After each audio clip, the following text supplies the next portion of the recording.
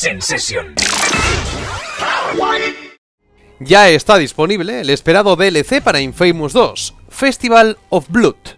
Unos días antes de Halloween ya tenemos entre nosotros esta nueva aventura de Cole McGrath en la que nos convertiremos en vampiro. ¿O no? Esta nueva línea argumental arranca cuando nos acercamos a una extraña chica y esta resulta ser Bloody Mary, una vampiresa que nos muerde en pleno cuello transformándonos en un ser sediento de sangre pero igual de eléctrico que siempre. Y es que no se puede tener chispa en la vida, que luego las chicas se te pegan y conoces a cada una que pa' qué. Bueno, a partir de ese momento, Cole tendrá solo 8 horas antes de que amanezca para encontrar alguna solución a su problemón, o morirá quemado por el sol. Estas 8 horas que representan en el juego son unas 4 o 5 horas de juego real si realizamos todas las misiones principales, las secundarias, todas las búsquedas de objetos, señales, consejos, hogueras, urnas y demás, y conseguimos todas las subidas de nivel. New Mare se encuentra totalmente distinta como la encontramos, con zonas nuevas y otras a las que se les ha cambiado el nombre tras los hechos vampíricos. Y es que los lugareños intentan protegerse de los vampiros y criaturas de Bloody Mary realizando fogatas y actos vistosos con el fuego como protagonista reuniéndose en puntos calientes, colocando unos extraños espantapájaros en las azoteas y llevando distintas máscaras. Aunque tampoco es que les sirva de mucho. Algunos vampiros pueden acercarse a ellos sin sentir temor ni dolor ante el fuego, aunque la mayoría atacará desde las sombras, sea con ataques cuerpo a cuerpo, lanzando una especie de discos con cuchillas, usando ballestas o ametralladoras, por ejemplo viéndose también acompañados en ocasiones de extrañas criaturas mucho más resistentes a nuestros ataques. Menos estas últimas bestias, los vampiros pueden trasladarse de un sitio a otro rápidamente, algo que aprenderemos a realizar también nosotros a los primeros minutos de juego y que nos irá muy bien para escapar de ciertos ataques.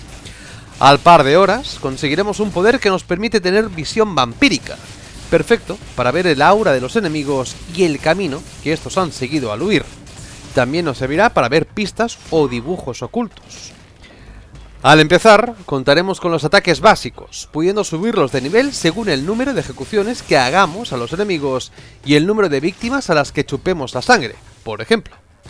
Nuestra nueva primera arma será a priori una especie de cruz estaca con la que podremos asistir los habituales golpes cuerpo a cuerpo vistos en Infamous 2 aunque varían las ejecuciones, pudiendo también empalar ahora a los vampiros. Recargar nuestra energía será básico para poder parar a distancia los grupos de enemigos, ahora más astutos, rápidos y con la capacidad de desaparecer y aparecer allí donde deseen. Además, se esconden bien entre el entorno. Pero hay que tener en cuenta que además de cargar nuestra energía, tendremos que ir chupando la sangre de los humanos sanos que nos encontremos por la ciudad o moriremos si nuestro corazón no bombea sangre humana. Algo que es fácil que se nos olvide al principio del juego cuando estemos en plena pelea contra varias clases de enemigos a la vez. Respecto a la ambientación, esta resulta muy atractiva, consiguiendo una ciudad decadente y oscura, pero con elementos que dan mucho color, como puede ser el fuego, las máscaras, los brazaletes y collares fosforitos de algunas de las chicas a las que chupar la sangre, objetos decorativos, urnas, etc. Las misiones nos llevarán a recorrer la ciudad en toda su extensión, disfrutando de esta ambientación desde cualquier punto de la ciudad.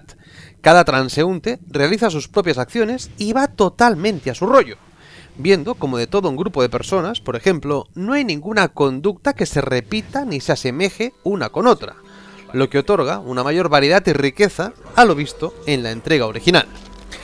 El juego ofrece solo un modo principal en el que van sucediéndose las distintas misiones, contando con una mayor linealidad, ocasionado seguramente por la brevedad de la historia.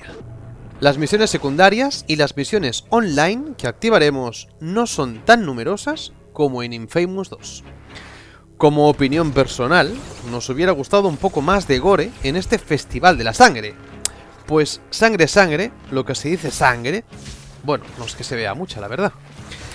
Divertido, interesante, rejugable, técnicamente impecable, pero un poco corto tanto en duración como en número de misiones secundarias, Festival of Blood ofrece una nueva original derivación de lo que era la historia original y se decanta ligeramente hacia una propuesta un poco más adulta, pero sin perder su propia esencia.